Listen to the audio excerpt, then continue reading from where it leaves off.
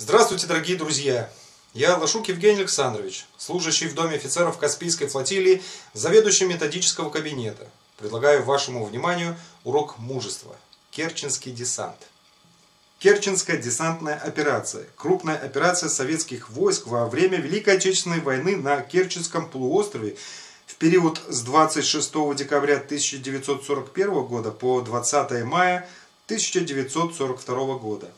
26 декабря 1941 года развернулась первая в истории отечественной морской пехоты Керченско-Феодосийская десантная операция советских войск. Это позволило красноармейцам оттянуть силы врага от Севастополя и сорвали план захвата Тамани и продвижения на Кавказ. Операцию по захвату Крыма гитлеровцы начали 18 октября 1941 года – и к 16 ноября весь полуостров, кроме Севастополя, был оккупирован. Командовал 11-й армией Вермахта генерал от инфантерии Эрих фон Манштейн, который стянул большую часть сил к городу, оставив одну пехотную дивизию для прикрытия района Керчи. Это позволило советскому командованию нанести ответный удар объединенными силами Закавказского фронта и Черноморского флота – Целью Керченской операции было овладение Керченским полуостровом и создание условий для освобождения всего Крыма. Изначальный план предполагал взятие восточного побережья Керченского полуострова с будущим наступлением на запад за 11 дней. Однако штаб Закавказского фронта разработал дополнительный план, утвержденный Сталином 13 декабря. Также предполагалось высадить морской десант в Феодосийский порт, авиадесант в районе Владиславовки и вспомогательный морской десант в районе Арабата и Акманая. Цель состояла в овладении Акманайским перешейком и нанесении удара в тыл керченской группировки противника. При удачном исходе гитлеровцы должны были быть окружены. Керченская федосийская операция осталась в истории как одна из наиболее масштабных десантных операций, которые проводились в ходе Второй мировой войны.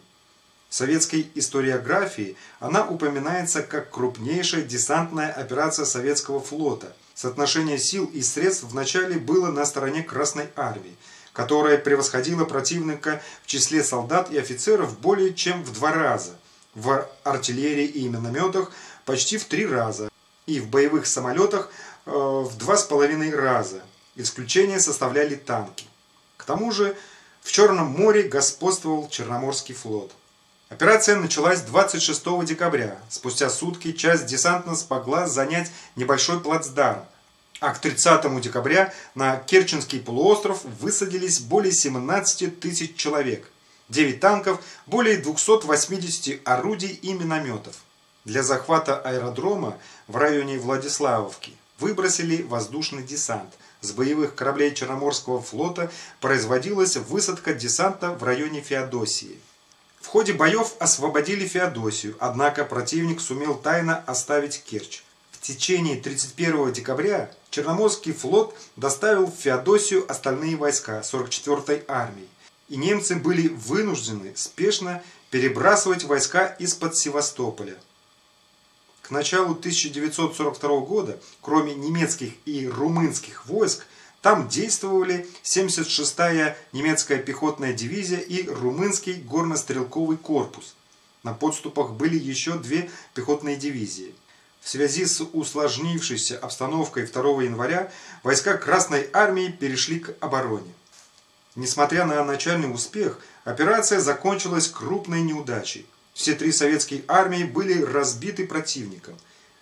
Общие потери составили более 300 тысяч человек, а также 1100 орудий и 250 танков.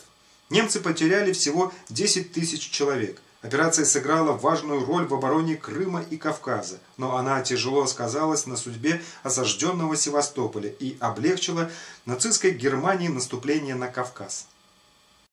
Thank you.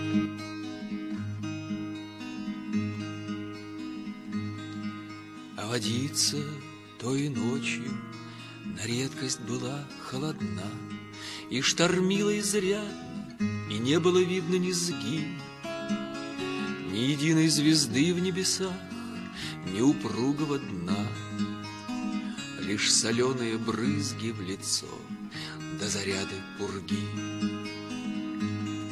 Равнодушно следя, как в борта ударяет волна, Из промокшей цигарки, глотая удушливый дым, Как бы сам про себя бормотал пожилой старшина.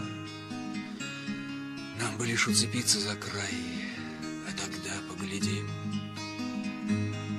И пускай мне, быть и может, сегодня никто не поверит, Но во мне эта боль до последней черты не утихнет.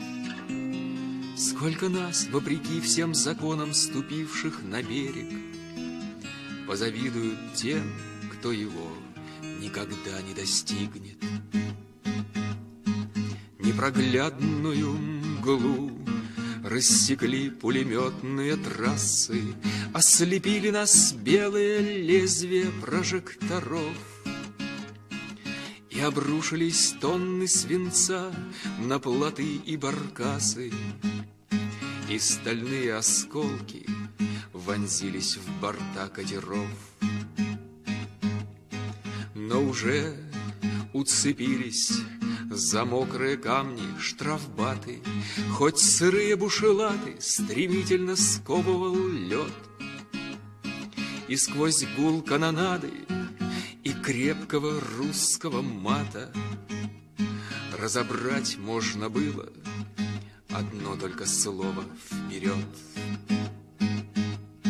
Клокотала вода под неистовой лавой стальною. Правый борт заливала на вылет прошитый снарядом.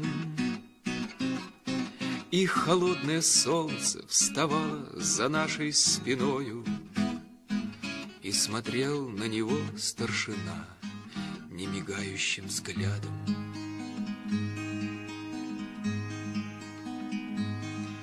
Как-то так незаметно Подкралась и круглая дата. Жизнь умчалась вперед, на обочину выбросив нас. Но опять ветерок, вздыбив белую пыль Митридата, Как полвека назад мне слезу высекает из глаз.